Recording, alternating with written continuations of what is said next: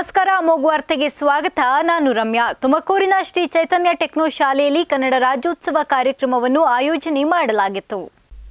ಶ್ರೀ ಚೈತನ್ಯ techno ಶಾಲೆಯ ಮೂರನೇ ಶಾಖೆಯಾದ ಪೂರ್ವ ಪ್ರಾಥಮಿಕ ವಿಭಾಗದಲ್ಲಿ ಇತ್ತೀಚೆಗೆ ಕನ್ನಡ ರಾಜ್ಯೋತ್ಸವ ಕಾರ್ಯಕ್ರಮವನ್ನು ಆಯೋಜನೆ ಮಾಡಲಾಗಿದ್ದು, ಶಾಲೆಯ ಮಕ್ಕಳು, ಕನ್ನಡದ ವಿವಿಧ ಸಾಧಕರು, ಹೋರಾಟಗಾರರು ಮತ್ತು ವಚನಕಾರರ ವೇಷವನ್ನ ತೊಟ್ಟು ಅವರಂತೆ ಕನ್ನಡ ಪ್ರೇಮವನ್ನ ಮೆರೆದರು. ಇನ್ನು ಮಕ್ಕಳಿಗೆ ಶಾಲೆಯ ಬೋಧಕ ಸಿಬ್ಬಂದಿಗಳು ಸಾಥ್ ನೀಡಿದ್ದು ಅವರು ಮಕ್ಕಳೊಂದಿಗೆ ಬೆರೆತು ಕನ್ನಡ ರಾಜ್ಯೋತ್ಸವವನ್ನ ಆಚರಣೆ ಮಾಡಿದರು.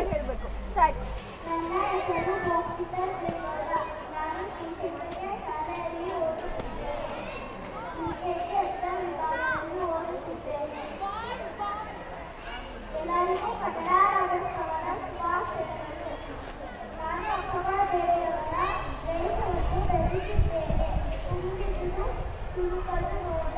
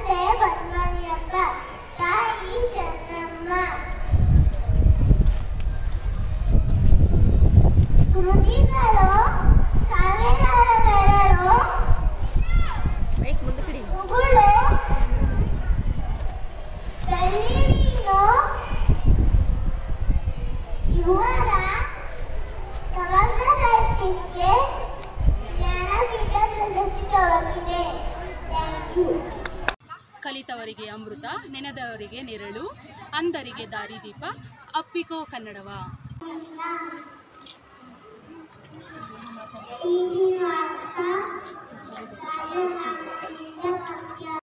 ಇರಲಿ, ಹೇಗೇ ಇರಲಿ, ಕನ್ನಡತನ ನಮ್ಮದಾಗಿರಲಿ ಕನ್ನಡ ನುಡಿ ಉಸಿರಾಗಿರಲಿ, ಭಾರತ ತತ್ವ ನೆಲೆಯಾಗಿರಲಿ.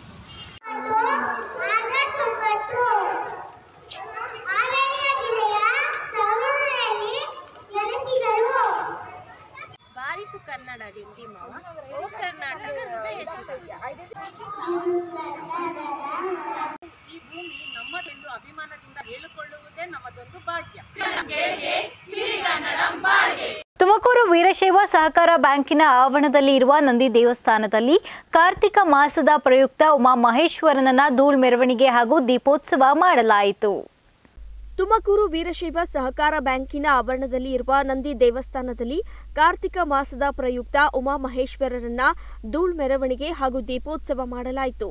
ಈ ಸಂದರ್ಭದಲ್ಲಿ ಬ್ಯಾಂಕಿನ ಅಧ್ಯಕ್ಷರಾದ ಕೆಜೆ ರುದ್ರಪ್ಪ, ಉಪಾಧ್ಯಕ್ಷರಾದ ಕೆ. ಮಲ್ಲಿಕಾರ್ಜುನಯ್ಯ, ನಿರ್ದೇಶಕರಾದ ಟಿಜೆ ಗಿರೀಶ್, ರವಿಶಂಕರ್, ಮಂಜುನಾಥ್, ರುದ್ರೇಶ್, ಹೇಮಾವತಿ, ಮಾಜಿ ಅಧ್ಯಕ್ಷರಾದ ಟಿವಿ ಮಂಜುನಾಥ್ ಸಿಒ ಮ್ಯಾನೇಜರ್ಗಳು ಹಾಗೂ ಸಿಬ್ಬಂದಿ ವರ್ಗದವರು ಮತ್ತು ಭಕ್ತಾದಿಗಳು ಹಾಜರಿದ್ದರು.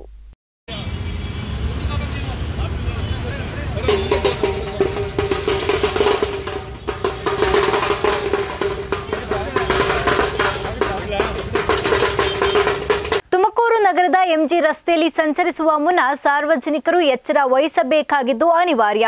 ಫುಟ್ಪಾತ್ ಪಕ್ಕದಲ್ಲಿ ಅಳವಡಿಸಲಾಗಿರುವ ವಿದ್ಯುತ್ ಕಂಬಗಳಲ್ಲಿ ಸಂಪರ್ಕಿಸಲಾಗಿರುವ ವೈರ್ಗಳು ಅಪಾಯದ ಮುನ್ಸೂಚನೆ ನೀಡುತ್ತಿವೆ. ತುಮಕೂರು ನಗರವೇನೋ ಸ್ಮಾರ್ಟ್ ಆಗುತ್ತಿದೆ. ಸ್ಮಾರ್ಟ್ ಆಗುವ ಭರದಲ್ಲಿ ಸಾಕಷ್ಟು ಎಡವಟ್ಟುಗಳನ್ನ ಮಾಡುತ್ತಿರುವುದು ಕಂಡುಬಂದಿದೆ. ಈ ಮಾತಿಗೆ ಪುಷ್ಟಿ ನೀಡುವಂತೆ ಒಂದು ಸಮಸ್ಯೆ ಈಗ ನಗರದ ಜನರಿಗೆ ಕಾಡ್ತಾ ಇದೆ. ತುಮಕೂರು ನಗರದ ಹೃದಯ ಭಾಗದಲ್ಲಿರುವ ಎಂಜಿ ರಸ್ತೆಯ ಬದಿಯಲ್ಲಿ ಫುಟ್ಪಾತ್ ಬಳಿ ಅಳವಡಿಸಲಾಗಿರುವ ಬೀದಿ ದೀಪಗಳನ್ನು ಕನೆಕ್ಷನ್ ಮಾಡಲು ಹಾಕಲಾಗಿರುವ ವಿದ್ಯುತ್ ತಂತಿ ಅಪಾಯಕ್ಕೆ ಕಾಯುತ್ತಿವೆ ಎನ್ನಬಹುದು. ಇಲ್ಲಿರುವ ವಿದ್ಯುತ್ ವೈರ್ಗಳು ಸ್ಕಿನ್ ಆಗಿದ್ದು, ಫುಟ್ಪಾತ್ ಮೇಲೆ ಸಂಚರಿಸುವಾಗ ಪಾದಚಾರಿಗಳಿಗೆ ವಿದ್ಯುತ್ ತಗಲುವ ಸಂಭವನೀಯತೆ ಇದೆ. ಮಳೆ ಬಂದಾಗ ಗ್ರೌಂಡಿಂಗ್ ಆಗುವ ಸಂಭವ ಹೆಚ್ಚಾಗಿ ಕಾಣ್ತಾ ಇದೆ. ಇನ್ನಾದರೂ ಕೂಡ ಸಂಬಂಧಪಟ್ಟ ಅಧಿಕಾರಿಗಳು ಈ ಬಗ್ಗೆ ಗಮನ ಹರಿಸಿ ಸೂಕ್ತ ರೀತಿಯಲ್ಲಿ ಮುಂಜಾಗ್ರತಾ ಕ್ರಮ ವಹಿಸಬೇಕಾಗಿದೆ.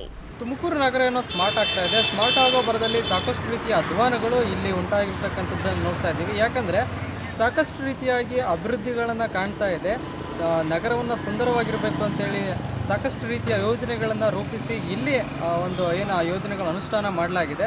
ಆದರೆ ಆ ಯೋಜನೆಗಳು ಸಾಕಷ್ಟು ಹಳ್ಳ ಹಿಡಿಯುವಂಥದ್ದನ್ನು ನಾವು ನೋಡ್ತಾ ಇದ್ದೀವಿ. ಅದಕ್ಕೊಂದು ಜ್ವಲಂತ ಉದಾಹರಣೆಯನ್ನು ನಾವು ನಿಮಗೆ ತೋರಿಸ್ತೀವಿ. ನಾವೀಗ ತುಮಕೂರಿನ ಹೃದಯ ಭಾಗವಾದಂಥ ಎಂ ಜಿ ರೋಡಲ್ಲಿ ನಾವಿದ್ದೀವಿ. ಎಂ ಜಿ ರೋಡ್ನ ಫುಟ್ಪಾತ್ನಲ್ಲಿದ್ದೀವಿ ಫುಟ್ಪಾತ್ನ ಪಕ್ಕದಲ್ಲಿ ಒಂದು ಏನು ವಿದ್ಯುತ್ ಕಂಬ ಇದೆ.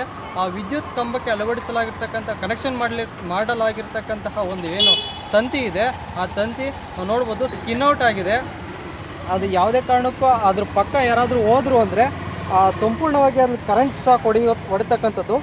ಯಾಕಿಷ್ಟು ನಿರ್ಲಕ್ಷ್ಯ ಇದರಲ್ಲಿ? ಮತ್ತು, ಆ ವಿದ್ಯುತ್ ಪ್ರವಹಿಸಿದರೆ, ಯಾರಾದರೂ ಅಕ್ಕಪಕ್ಕ ಓಡಾಡಿದರೆ ಅವರಿಗೆ ಗ್ರೌಂಡಿಂಗ್ ಆಗುವಂಥ ಸಮಸ್ಯೆಗಳು ಕೂಡ ಇಲ್ಲಿ ಕಂಡು ಬರ್ತಕ್ಕಂಥದ್ದು ಇದೇ ಫುಟ್ಪಾತಲ್ಲಿ ಪ್ರತಿದಿನ ಸಾವಿರಾರು ವಿದ್ಯಾರ್ಥಿಗಳು, ಸಾವಿರಾರು ಸಾರ್ವಜನಿಕರು ಓಡಾಡ್ತಿರ್ತಾರೆ. ಮಳೆ ಬಂತು ಅಂದರೆ ಏನಾದರೂ ಅನಾಹುತ ಆಯಿತು ಅಂದರೆ ಯಾರು ಇದಕ್ಕೆ ಹೊಣೆ ಗ್ರೌಂಡಿಂಗ್ ಆಗೋದಾಗಿರ್ಬೋದು, ಇನ್ನು ಡೈರೆಕ್ಟ್ ಕರೆಂಟ್ ಹೊಡೆಯೋದಾಗಿರ್ಬೋದು ಈ ಥರದ್ದು ಏನಾದರೂ ಸಮಸ್ಯೆ ಆಯಿತು ಅಂದರೆ ಇದಕ್ಕೆ ಹೊಣೆ ಯಾರು? ಸೊ ಹಾಗಾಗಿ ಸಂಬಂಧಪಟ್ಟ ಅಧಿಕಾರಿ ವರ್ಗದವರಾಗಿರ್ಬೋದು, ಸಂಬಂಧಪಟ್ಟ ಇಲಾಖೆಯವರಾಗಿರ್ಬೋದು, ಈ ಕೂಡಲೇ ಎಚ್ಚೆತ್ತುಕೊಂಡು ಸೂಕ್ತವಾದಂಥ ಒಂದು ಕ್ರಮ ವಹಿಸಿ, ಈ ರೀತಿಯಾದ ಬರೀ ಇದೊಂದು ಸಮಸ್ಯೆ ಅಲ್ಲ, ಈ ಕಡೆ ಇರ್ತಕ್ಕಂಥ ಸಾಕಷ್ಟು ಪೋಲ್ಗಳಲ್ಲೂ ಕೂಡ ಇದೇ ರೀತಿಯಾಗಿ ಏನು ಓಪನ್ ಆಗಿ ಬಿಟ್ಟಿದ್ದಾರೆ, ವೈರ್ಗಳನ್ನ ಯಾವುದೇ, ಯಾವ, ಮುಚ್ಚುವಂಥ ಪ್ರಯತ್ನ ಮಾಡಿಲ್ಲ. ಹೀಗಾಗಿ ಓಡಾಡುವವರಿಗೆ ಏನು ಗೊತ್ತಿರುತ್ತೆ? ಇಲ್ಲಿ ಕರೆಂಟ್ ಇದೆ, ಇಲ್ಲ ಎಂಬುದಾಗಿ ಸಾಕಷ್ಟು ಸುರಕ್ಷತೆಯನ್ನು ಇಲ್ಲಿ ಸುರಕ್ಷತೆಯ ಜಾಗೃತಿಯನ್ನು ವಹಿಸಬೇಕಾಗಿರ್ತಕ್ಕಂಥದ್ದು ಸಂಬಂಧಪಟ್ಟ ಅಧಿಕಾರಿಗಳಿಗೆ ಮುಖ್ಯವಾಗಿ ಇದು ಇರಬೇಕಾಗಿದೆ. ಇನ್ನಾದರೂ ಕೂಡ ಅಧಿಕಾರಿ ವರ್ಗದವರು ಈ ಬಗ್ಗೆ ಎಚ್ಚರಿಕೆ ವಹಿಸಿಕೊಂಡು ಸೂಕ್ತವಾದಂಥ ರೀತಿಯಲ್ಲಿ ಭದ್ರತೆಯನ್ನು ಕಲ್ಪಿಸಬೇಕಾಗಿದೆ. ಕ್ಯಾಮ್ರಾ ಪರ್ಸನ್ ಚೇತನ್ ಜೊತೆ Praveen Kumar, Amok TV Tumakuru. News desk Amok TV Tumakuru. Sira ತಾಲೂಕಿನ ನಾರಗುಂಡನಹಳ್ಳಿ ಸರ್ಕಾರಿ ಹಿರಿಯ ಪ್ರಾಥಮಿಕ ಶಾಲೆಯಲ್ಲಿ ದಲಿತ ಮಹಿಳೆ ಅಡಿಗೆ ಸಿದ್ಧಪಡಿಸುತ್ತಾರೆ ಎಂಬ ಕಾರಣಕ್ಕೆ ಬಿಸಿಯೂಟ ಸೇವನೆ ಮಾಡದೆ ಮನೆಯಿಂದ ಡಬ್ಬಿಯಲ್ಲಿ ಊಟ ತಂದು ಇತರೆ ಸಮುದಾಯದ ಮಕ್ಕಳು ಸೇವನೆ ಮಾಡುವ ಪ್ರಸಂಗ ನಡೆದಿದೆ. ಸರ್ಕಾರಿ ಶಾಲೆಗೆ ಬರುವಂತಹ ವಿದ್ಯಾರ್ಥಿಗಳು ಮನೆಯಿಂದ ಊಟ ತರಬಾರದು, ಬಿಸಿ ಊಟ ಸೇವನೆ ಮಾಡಬೇಕೆಂಬ ಸರ್ಕಾರದ ನಿಯಮವಿದ್ದರೂ ಕೂಡ ಶಾಲಾ ಅಭಿವೃದ್ಧಿ ಸಮಿತಿ ಅಧ್ಯಕ್ಷ ಹಾಗೂ ಇತರೆ ಸದಸ್ಯರ ಮಕ್ಕಳು ದಲಿತ ಸಮುದಾಯದ ಮಹಿಳೆ ಬಿಸಿ ಊಟ ತಯಾರಿಕೆ ಮಾಡಿ ಬಡಿಸುತ್ತಾರೆ ಎಂಬ ಕಾರಣಕ್ಕೆ ಶಾಲೆಯಲ್ಲಿ ಓದುತ್ತಿರುವ ವಿದ್ಯಾರ್ಥಿಗಳ ಸಾಮರಸ್ಯದ ಕಲಿಕೆಗೆ ತೊಂದರೆಯಾಗುತ್ತಿದ್ದು, ಸಮಾಜ ಕಲ್ಯಾಣ ಇಲಾಖೆ ಮತ್ತು ಪೊಲೀಸ್ ಇಲಾಖೆ ಇಂತಹ ಪ್ರಕರಣಗಳಿಗೆ ಕಡಿವಾಣ ಹಾಕಬೇಕೆಂದು ಕಲಿಗೋನಹಳ್ಳಿ ತಿಪ್ಪೇಸ್ವಾಮಿ ಆಗ್ರಹಿಸಿದರು. ಹೀಗೆ ಮುಂದುವರೆದರೆ ಉಗ್ರ ಪ್ರತಿಭಟನೆ ಮಾಡುವ ಎಚ್ಚರಿಕೆ ನೀಡಿದರು. ಶಾಲೆಯಲ್ಲಿ ನಾರ್ಗೊಂಡಹಳ್ಳಿ ಪ್ರಾಥಮಿಕ ಶಾಲೆಯಲ್ಲಿ ಬಿಸಿಯೂಟದ ವಿಚಾರವಾಗಿ ಎಸ್ ಸಿ ಹೆಣ್ಮಗಳನ್ನ ಬಿಸಿಯೂಟದ ಸಹಾಯಕರನ್ನಾಗಿ ತಗೊಂಡಿದ್ದಾರೆ ಅನ್ನೋ ಕಾರಣಕ್ಕೋಸ್ಕರ ನೆನೆ ಅಲ್ಲಿ ಸಂಬಂಧಪಟ್ಟ ಸ್ಪೃಶ್ಯ ಜನಾಂಗದವರು ಎಸ್ ಟಿ ಎಂ ಸಿ ಅಧ್ಯಕ್ಷ ಆಗಿರ್ಬೋದು, ಅಧ್ಯಕ್ಷನ ಮಕ್ಕಳು ಊಟ ಮಾಡ್ತಾ ಇಲ್ಲ. ಈಗ ಅಲ್ಲಿ ಗ್ರಾಮ ಪಂಚಾಯತಿ ಸದಸ್ಯರ ಮಕ್ಕಳು ಊಟ ಮಾಡ್ತಾ ಇಲ್ಲ. ಇನ್ನು ಕೆಲವರು ನಾಲ್ಕೈದು ಜನಗಳ ಮಕ್ಕಳುಗಳು ಊಟ ಮಾಡ್ತಾ ಇಲ್ಲ. ಇದಕ್ಕೆ ಎಸ್ ಟಿ ಎಂ ಸಿ ಅಧ್ಯಕ್ಷನ ಮಗನೇ ಊಟ ಮಾಡೋದಿಲ್ಲ ಅಂತಂತಂತಂದರೆ ಅವರು ಎಸ್ ಟಿ ಎಂ ಸಿ ಅಧ್ಯಕ್ಷ ಆದರೂ ಶಾಲಾಭಿವೃದ್ಧಿ ಯಾವ ರೀತಿ ಅವರು ನಿಭಾಯಿಸ್ತಾರೆ? ಅವರು ಶಾಲಾಭಿವೃದ್ಧಿ ಮಾಡೋಕ್ಕೆ ಅಧ್ಯಕ್ಷ ಅಧ್ಯಕ್ಷರಾಗಕ್ಕೆ ಅವರಲ್ಲಿ ಏನು ನೈತಿಕವಣೆ ಐತಿ? ಬಾಬಾ ಸಾಹೇಬ್ ಅಂಬೇಡ್ಕರ್ ಕೊಟ್ಟಿರ್ತಕ್ಕಂಥ ಸಂವಿಧಾನದಲ್ಲಿ, ಸಂವಿಧಾನದ ಇದರಲ್ಲಿ ಅವರು ಅಧ್ಯಕ್ಷರಾಗಿ ಇವತ್ತು ತನ್ನ ಸಾಮಾಜಿಕ ನ್ಯಾಯವನ್ನು ಅವರು ಎಲ್ಲಿ ಸೃಷ್ಟಿ ಮಾಡ್ತಾ ಇದ್ದಾರೆ? ಅವರೇ ಸಾಮಾಜಿಕ ನ್ಯಾಯಾಂಗವು ನ್ಯಾಯವನ್ನು ಉಲ್ಲಂಘನೆ ಮಾಡ್ತಾ ಇರೋದ್ರಿಂದನ ಅವ್ರ ಮೇಲೆ ಏನು ಅದು ಸಂಬಂಧಪಟ್ಟ ಇಲಾಖೆಯವರು ಸಿ ಕಾನೂನು ಕ್ರಮ ಕೈಗೊಂಡು ಶಿಸ್ತು ಕ್ರಮ ಕೈಗೊಡ್ತಾರೆ ಅನ್ನೋದು ನಾನು ಕಾದು ನೋಡ್ತೀನಿ. ಮುಂದಿನ ದಿನಗಳಲ್ಲಿ ಇದೇ ರೀತಿ ಎಚ್ಚೆತ್ಕ ಎಚ್ಚೆತ್ಕೊಂಡ್ರೆ ಹೋದರೆ ಸಂಬಂಧಪಟ್ಟ ಇಲಾಖೆಯವರು ಬಂದ ಕಾ ಇದನ್ನು ಎಚ್ಚರಿಸ್ತಾ ಇದ್ದರೆ ಮುಂದಿನ ದಿನಗಳಲ್ಲಿ ದೊಡ್ಡ ಹೋರಾಟ ಸರ್ ನಾರ್ಗೊಂಡಳ್ಳಿ ಶಾಲೆಯಲ್ಲಿ ನಲವತ್ತು ಮಕ್ಕಳಿದ್ರು ಸರ್. ನಲವತ್ತು ಮಕ್ಳು ಇದಾರೆ ಈಗ ಪ್ರೆಸೆಂಟ್ ಇದ್ದಾರೆ ಆ ನಲವತ್ತು ಮಕ್ಕಳಲ್ಲಿ ಸ್ಟಾರ್ಟಿಂಗ್ನಲ್ಲಿ ಇಪ್ಪತ್ನಾಲ್ಕು ಮಕ್ಕಳು ಊಟ ಮಾಡ್ತಾ ಇರಲಿಲ್ಲ. ಆಗ ಎಡಿಎಂಎಂ ಅಕ್ಷರ ದಾಸೋಹ ಸಹಾಯಕ ನಿರ್ದೇಶಕರಾದಂತಹ ಗಂಗಾಧರ್ ಅವರಿಗೆ ಸೂಚನೆ ಕೊಟ್ಟು ಅಲ್ಲಿ ಹೋಗಿ ಏನಾಗಿದೆ ಪರಿಚಯ ಮಕ್ಕಳ ಮನವೊಲಿಸಿ ಪೇರೆಂಟ್ಸ್ ಮನವೊಲಿಸಿ ಅಂತ ಹೇಳಿ ಕಳಿಸಿದ್ದೆ.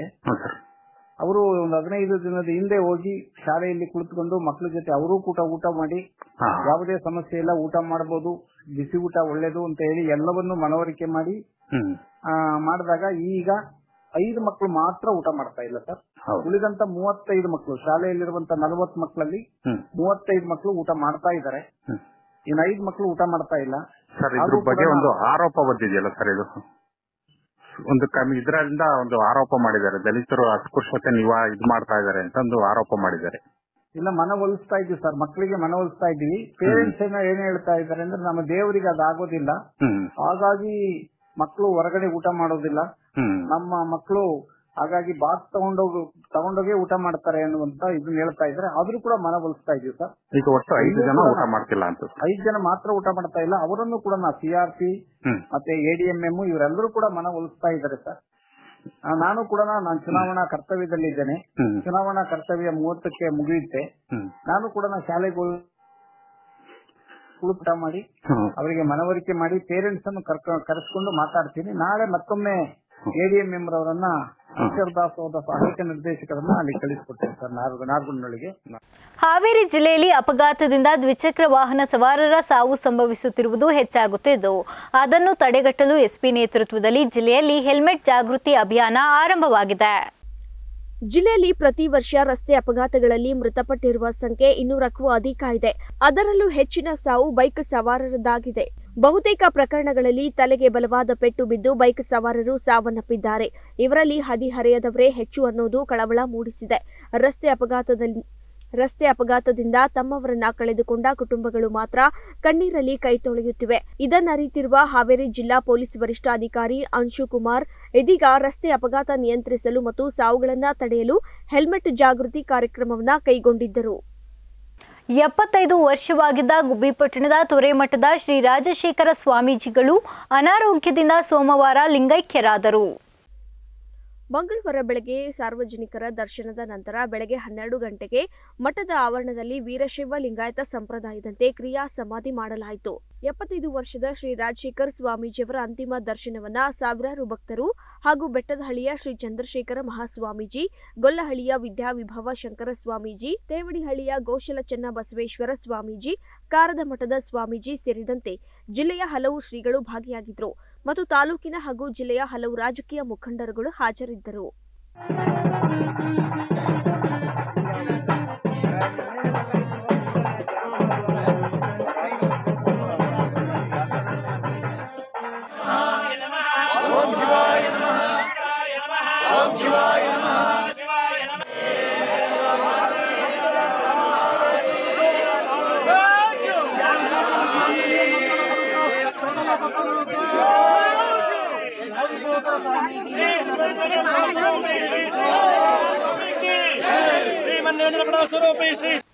ಆಲೂರು ತಾಲೂಕಿನ ಕಿರಗಡಲು ಗ್ರಾಮದಲ್ಲಿ ಶ್ರೀ ಪಂಚಲಿಂಗ ದೇವರುಗಳಿಗೆ ಹೂವಿನ ಅಲಂಕಾರದೊಂದಿಗೆ ವಿಶೇಷ ಪೂಜೆ ಜೊತೆಗೆ ಶ್ರೀ ಪಂಚಲಿಂಗೇಶ್ವರ ಸ್ವಾಮಿ ಅಡ್ಡಪಲ್ಲಕ್ಕಿ ಉತ್ಸವವನ್ನು ಸಡಗರ ಸಂಭ್ರಮ ಹಾಗೂ ಶ್ರದ್ಧಾ ಭಕ್ತಿಯಿಂದ ಆಚರಿಸಲಾಯಿತು.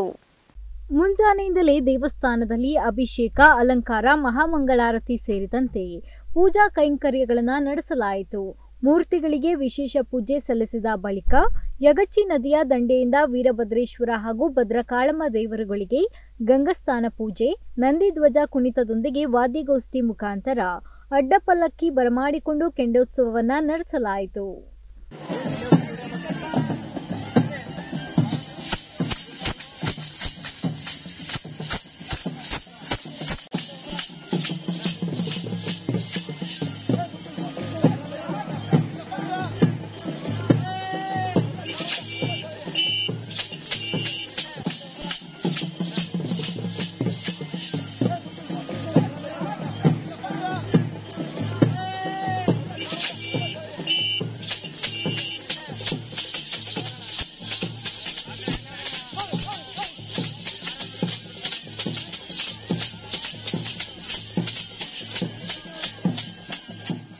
ಇದಿಷ್ಟು ಈವರೆಗಿನ ಪ್ರಮುಖ ಸುದ್ದಿಗಳು ಮತ್ತಷ್ಟು ಸುದ್ದಿಗಾಗಿ ನೋಡ್ತಾ ಇರಿ ಅಮೋಕ್ ಟಿವಿ ಎಂದೆಂದಿಗೂ ನಿಮ್ಮೊಂದಿಗೆ.